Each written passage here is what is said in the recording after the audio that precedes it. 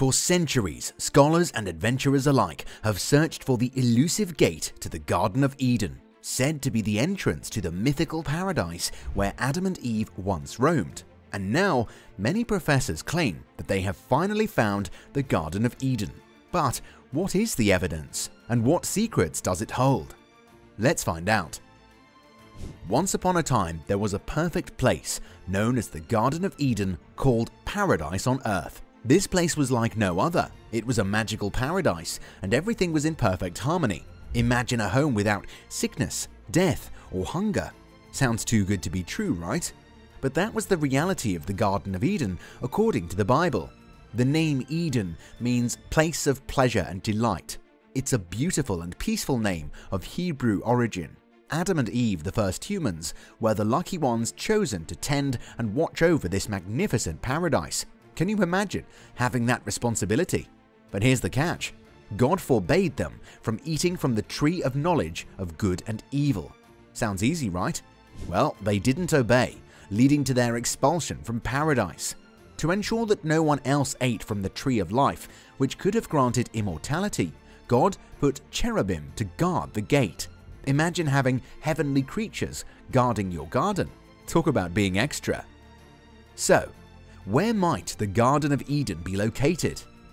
Now this is a multi-billion dollar question to which no one has a clear answer. However, today, we will be critically analyzing what we know and hopefully it will lead us to the unknown. Let's start with the rivers. Mind you, not just any rivers, but mystical rivers that flow from the heart of Eden itself. First up, we have the Chiddekel River. This bad boy is none other than the famous Tigris River. Imagine standing on its banks, just like the great visionary Daniel did during his exile in Babylonia. Yes, folks, we're talking about modern day Iraq. The Chiddekel River, or Tigris as it's known today, adds that extra mystery to the Garden of Eden.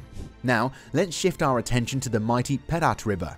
The Perat is none other than the magnificent Euphrates River. Together with its partner, the Tigris, the Euphrates formed the cradle of civilization, the Fertile Crescent, these rivers were like the backbone of ancient times, defining borders and making history. Fun fact, the Euphrates River even played a role in God's promise to Abraham about the Promised Land. But wait, there's more. We also have the Pishon River. Some say it's the legendary Nile River, gushing forth and irrigating the land of Egypt like a never-ending source of life. Others claim it could be the mystical Ganges River, flowing through India and Bangladesh. Heck, there are even theories connecting it to the mighty Indus River. We may never know, but the Pishon River remains a tantalizing mystery shrouded in gold, crystal, and onyx stone. Last but not least, we have the enchanting Gihon River. Picture this, a river that encompasses all the land of Kush, often associated with Ethiopia. We're talking about none other than the Blue Nile. Starting from Lake Tana in Ethiopia, it joins forces with the White Nile in Sudan, forming a powerful river that flows to Egypt. It's a diverging force with numerous tributaries flowing through the land of Kush. But where exactly is this wondrous place? The Garden of Eden isn't just any old garden with a sign saying welcome to paradise. Oh no, my friends, it's much trickier than that. According to the ancient texts, four rivers flow forth from the garden, which we discussed earlier.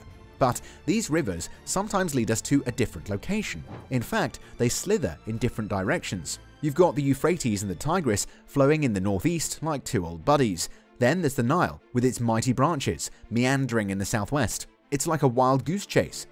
The general consensus among scholars is that the Garden of Eden must be somewhere between the Nile and the Euphrates. So basically, a paradise sandwiched between two powerful rivers. Some even claim that it's exactly 32 degrees south of Jerusalem. But here's where things get really interesting. These rivers don't actually flow from a single source. It's like they're playing hide and seek with us mere mortals. One hypothesis contends that the river, in all its splendor, vanished beneath the surface at the garden's departure before emerging at four different places. But it even gets more mystical. The rivers are called four heads and not four branches. That means they're not just branches of the same river, but four separate riverheads. It's like they each have their own personality and unique path to follow. Many scholars and Bible experts have long believed that the Garden of Eden was nestled in the ancient Mesopotamian region, now present-day Iraq. the land of the Tigris and Euphrates rivers, where history runs deep and civilizations once thrived. It sure sounds like a promising candidate. However, when archaeologists excavated the area, they were met with a surprise of epic proportions in Morgan Freeman's The Story of God series, where he revealed the shocking truth in 2017. There's an 11,000 year old site sandwiched between the Tigris and Euphrates rivers. The garden should be older than that, right? Now here's the twist.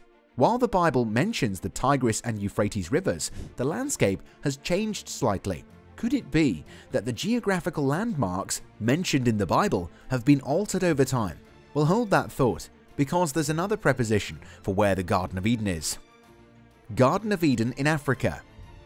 Based on the latest research, the Garden of Eden is most likely located in Botswana, a country in southern Africa. This might come as a surprise to many, but it actually makes a lot of sense. Scientists have discovered that all humans have ancestors that lived in Africa between 150,000 and 200,000 years ago, which means that this continent is the birthplace of humanity.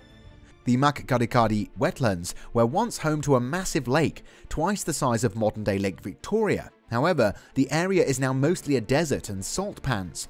A team of global researchers used genetics, geology, and physics to map the bloodline and land, leading them to this groundbreaking discovery.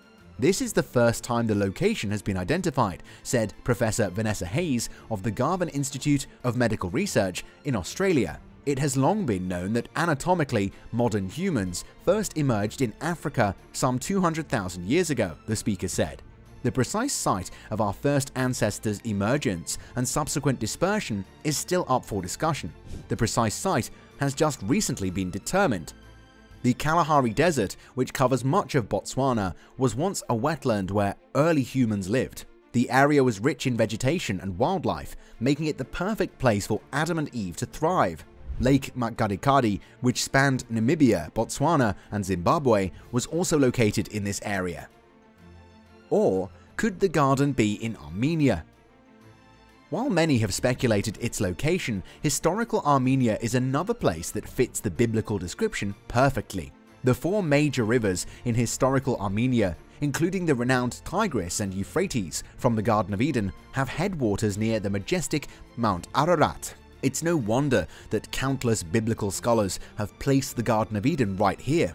But it doesn't stop there. The ancient people of Mesopotamia, known for their wisdom, believed that the Armenian highlands were the very dwellings of the gods. Talk about an epic address. Even the flood, which played a pivotal role in human history, first abated in Armenia, with the legendary dove finding solace in this sacred land. Old maps and theological records testify to Armenia's strong connection to the terrestrial paradise. It's a place where history, mythology, and spirituality intertwine, giving birth to an unparalleled sense of wonder. And let's not forget Lord Byron, the famous poet who immortalized Armenia's significance in his works, acknowledging it as the cradle of mankind. We are all aware that even a minor local flood can alter a river's direction, so just imagine the colossal impact of Noah's flood.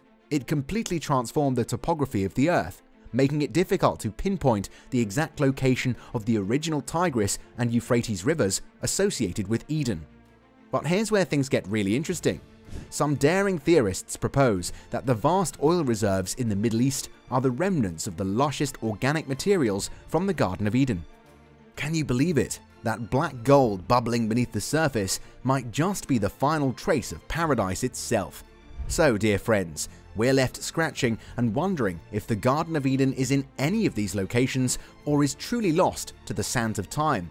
It may be time to consider other possibilities. After all, if the garden was indeed in Iraq or any of these locations, wouldn't someone have stumbled upon it by now?